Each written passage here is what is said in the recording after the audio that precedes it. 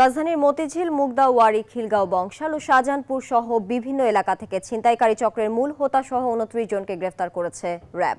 এক সংবাদ সম্মেলনে র্যাব জানায়, গ্রেফতারকৃতরা জীবিকা নির্বাহের জন্য পেশা হিসেবে ছিনতাইকে বেছে নিয়েছেন।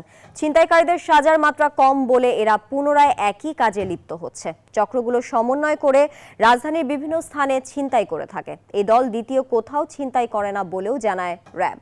চক্রটির সদস্যরা অলিগলিতে সাধারণ মানুষকে টার্গেট করে ঝামেলায় লিপ্ত হয়। পরে বাকি সদস্যরা এসে তর্কে জড়িয়ে এক পর্যায়ে মারামারি শুরু করে।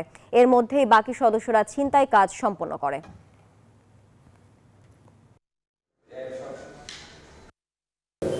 আমরা রাজধানীর মুগদা, সবুজবাগ, কমলাপুর, শাহবাগ, গুলিস্তান, বাইতুল মোকরম এরকম আট থেকে নয়টি জায়গায় আমরা ছিনতাইকারীদের বিরুদ্ধে অপারেশন পরিচালনা করে আমরা এই চক্রের বেশ কিছু মূল হোতা এবং তাদের সহযোগীকে আমরা দেশীয় অস্ত্রসহ গ্রেফতার করতে সক্ষম হয়েছি।